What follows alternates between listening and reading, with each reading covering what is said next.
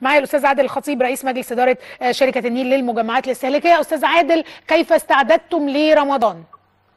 مساء الخير أستاذ امين مساء النور أهلا بك. وأنتم طيبين والشعب المصري الجميل كل سنة وهو طيب كله. إن شاء الله. سامعني كده؟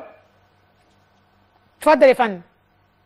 إن شاء الله إحنا في مبادرة تحت رعاية السيد رئيس الجمهورية 30000 متر معرض أهلا رمضان في 27 محافظة. امم وزاره التموين آه، بالتعاون مع الاتحاد العالمي للغرف التجارية. آه، هيبقى اسمه أهلا رمضان وده ثالث سنه على التوالي. آه هيفتح إمتى اللي أنا عارفاه ده ده إمتى يا إمتى يا فندم هيبتدي؟ هيتفتح 15 شعبان إن شاء الله. آه خلاص كمان 15 يوم يعني. آه إحنا استعدنا له الحمد لله ومعمول في 27 محافظة. 27 محافظة. في 27 محافظة بمساحة إجمالية 30000 متر.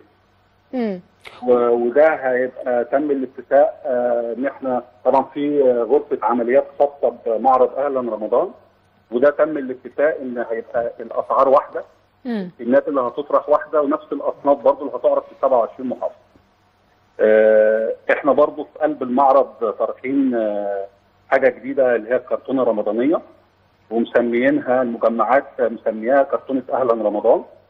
الكرتونة دي هيبقى فيها 11 سم سلعة استراتيجية آه، إن شاء الله هيبقى ب 49 جنيه 95 قرش. آه، الكرتونة دي أعتقد إنها هتكفي أسرة مكونة من أربع أفراد لمدة أكثر من 8 أيام. تمام يعني معلش الكرتونة دي 49 جنيه ونص 9 جنيه 5 49 95 تسعة يعني خ- 50 جنيه تقريبا آه وحضرتك فيها إيه الكرتونة دي يا أستاذ عادل؟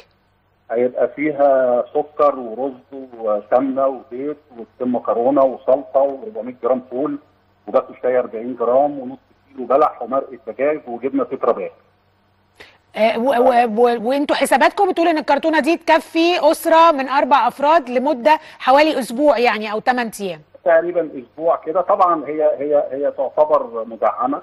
آه، إحنا عاملينها تقريبا بتكلفتها. آه، حضرتك تخيلي 11 سم الكمية هيبقوا حوالي منهم كيسين سكر ومنهم كيسين مكرونة. طبعا دي الأصناف دي ممكن تكفي لمدة سبع أيام إن شاء الله. آه، بس طبعا مع أكيد حاجات ثانية يعني. الأسرة مش هتكفي سبع أيام سبع أيام أسرة أربع افراد يعني.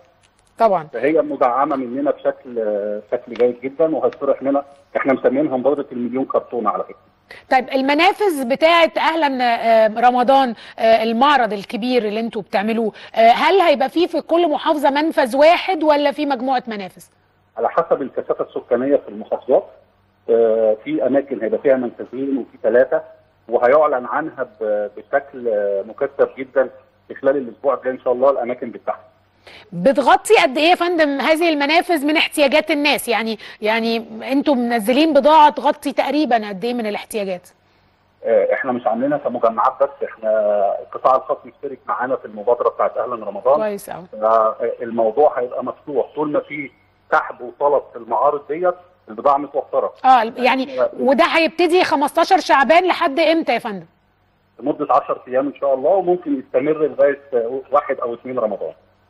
حضرتك عارفة الفترة دي بتبقى فتره السحب ال- ال- آه الناس بتخزن. تقول لك داخلين على مجاعة. تحس إن إحنا داخلين على انهيار.